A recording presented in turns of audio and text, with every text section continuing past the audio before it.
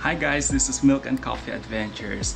In today's episode, I will walk you through the Minimotors iThrottles feature and P settings that is currently on my Kaabo Wolf King. So stay tuned on the video and if you haven't subscribed yet, please hit the subscribe and the notification bell button so you'll be updated on my latest videos and updates.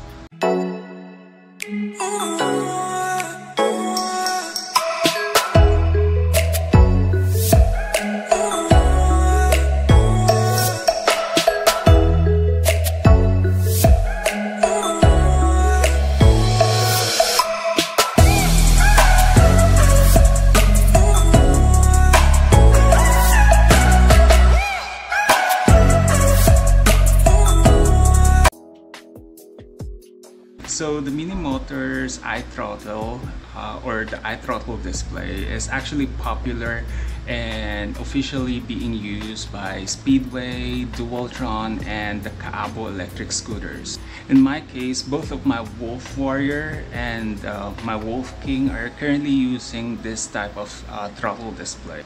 So without further ado, let's see what's on the iThrottle display. So basically guys, this is the whole looks of the iThrottle itself. I don't think it's available in other colors. It's only black and the display light is uh, usually green. This is the trigger or the accelerator trigger. So you know what it does and just pull it to start rolling. There are three buttons uh, right here. So the first one is the power button.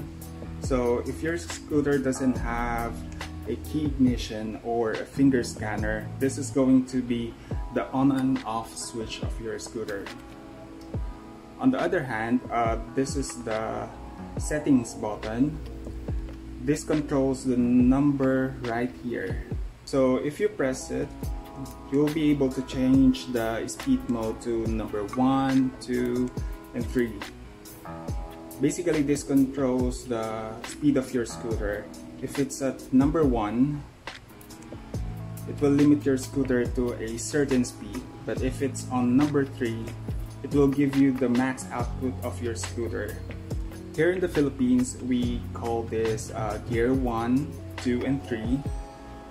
But again, basically, this is just a speed limiter and this is what you press uh, if you want to change it.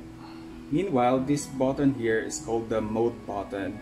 What is what it does is it changes what you want to see here in the lower part of the display. And there are actually five options available. First one is the time. Uh, this tells you how long your scooter is on. Next one is the odometer. This tells you the overall running kilometers or miles of your scooter. Next one is the trip. It's almost the same as the odometer except this can be reset by holding the the settings mode for 2 to 3 seconds. You can use this to monitor the current mileage of your trip. And then if you want to reset it again, just press the settings mode there you go. I've reset it then we have this one. Uh, this is the charging cycles. It tells you how many times your scooter has completed a charging cycle and also the voltmeter. Uh, this is a good and more accurate way to or alternative way to monitor your remaining battery power especially if you know the level of the voltage of your scooter when it's full or about to cut off this should tell you more about the remaining battery in your scooter compared to the uh, to the bars or the percentage. These are actually the basics of these uh, buttons. Later, I will discuss you the advanced settings, which are the P settings. But before we proceed to that, let's check the let's check first what you see in the LCD screen. So in the LCD screen, the most prominent uh, the most prominent one you will see here is this speedometer. These are the two numbers here and the metric system that you see or that you use here whether it's uh, kilometers or miles per hour. Here in the Philippines we use kilometer metric system. The other prominent number here is the one we've discussed earlier, which is the speed mode settings. Then right here, we have the battery bars and percentage. And these here, um, we've discussed this earlier. Uh, these are the time, the odometer, and the trip meter charging cycle, and also the voltage meter. And for these ones, actually, uh, there, there are invisible warnings and error signs up on the top most part of the LCD screen. I will just uh, flash the images on the screen right now so so you know what are those. I haven't encountered those errors before except for the brake sensor uh, but it's pretty good that the iThrottle uh, could indicate those errors and warnings on your scooter. And I guess that's basically it for the LCD or LE, yeah, LCD screen. Now let's proceed with the P settings. So the P settings is the advanced settings of the iThrottle and we actually have 14 P settings that is P0 to P9 and then PA to PD. To access it, uh, you have to press the mode button for 2 to 3 seconds there we go. And while, uh, and while on the P settings screen, you can use the dot button or the settings button to adjust all the P settings. Just a warning, the first four P settings, which are the P0 to P3, it should not be modified.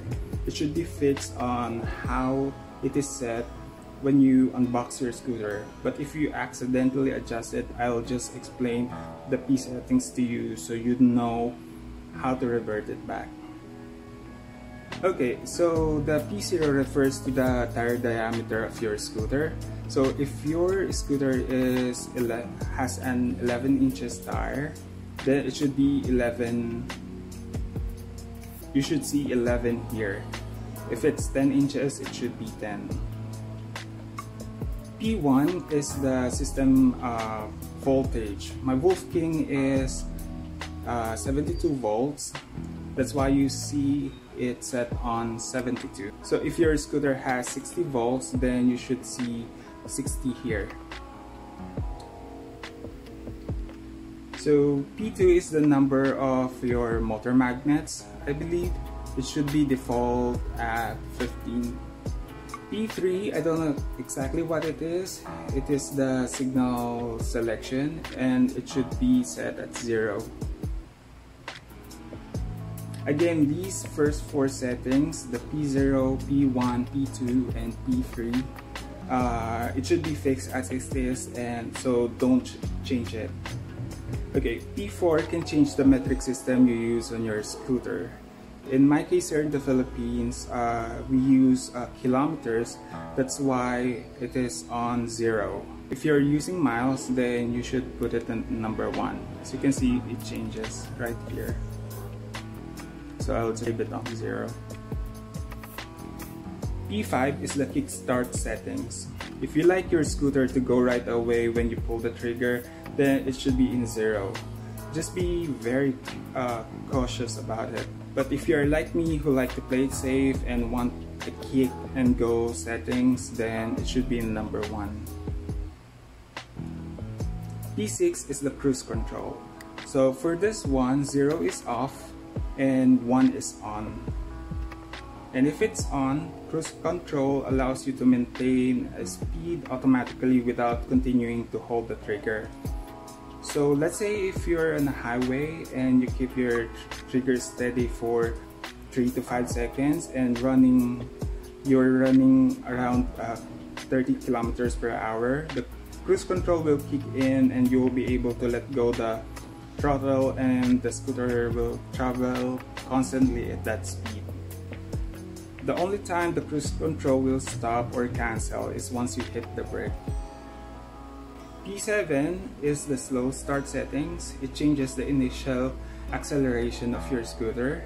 It has a value from 0 to 5 where the 0 is the default or max start meaning you'll be using 100% of your of the power of your scooter during the acceleration and as you increase the settings, the slower the scooter will accelerate. P8 is default at 100%. This means that your scooter will reach 100% of your speed limit.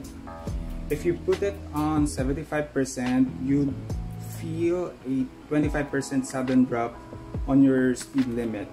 And if you put it less than 10%, you'd barely move your scooter. Then proceeding to P9, P9 is the torque control.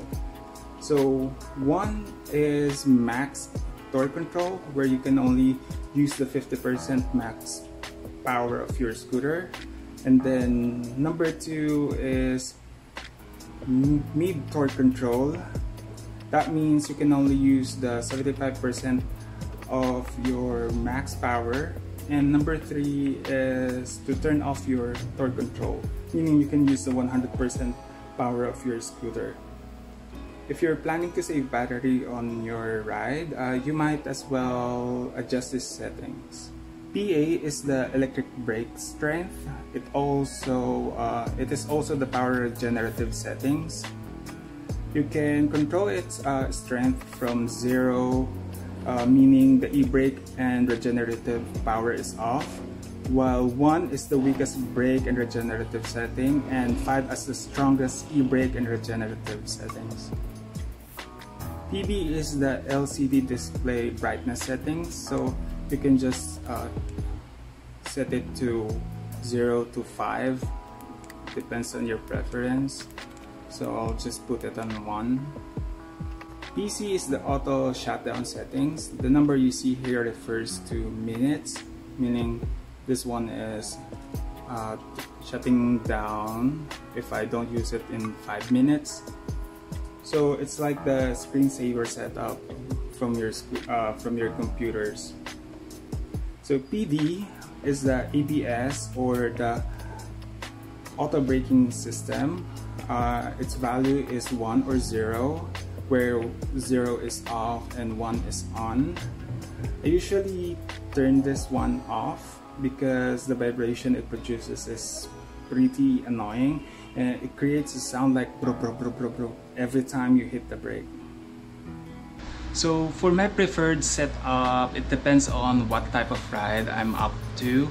So I have different setup. For example, if I on during my typical days or city ride, I have a different uh, different setup for that. It's more like tame and but it still gives me the speed that I want. If I'm riding with my let's say my friends and it is a really speedy ride um, I use a different settings for that and if I am into a enduro ride or a very long ride I also uh, have a different settings for that I'll just display it on the screen right now and also on the description down below so you'll know what are those setups Okay guys, that's it for the Minimotor iThrottle's features and settings. And if you have questions or comment about what I've discussed, please leave a comment down below. And if you haven't subscribed yet, please please hit the subscribe button and also the notification bell so you'll be updated on my latest updates. Thank you so much guys and have a great day.